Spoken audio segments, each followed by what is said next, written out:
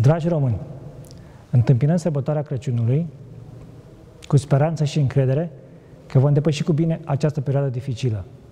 Vă rog pe toți în aceste zile să respectăm măsurile de protecție. Doar așa ne protejăm pe noi și pe cei dragi nouă. Descoperirea, autorizarea și livrarea unui vaccin împotriva COVID-19 într-un timp record oferă perspectivele depășirii pandemiei într-o perioadă relativ scurtă. Înțeleg responsabilitatea pe care o am din funcția de prim-ministru și așteptările românilor pentru depășirea cu bine a crizei de sănătate și pentru o viață mai bună.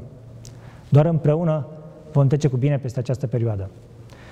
Dragi români, mă doresc sărbători fericite, atât celor din țară cât și celor departe de casă, multă sănătate, bucurie și speranța că vom reveni la o viață normală cât mai curând.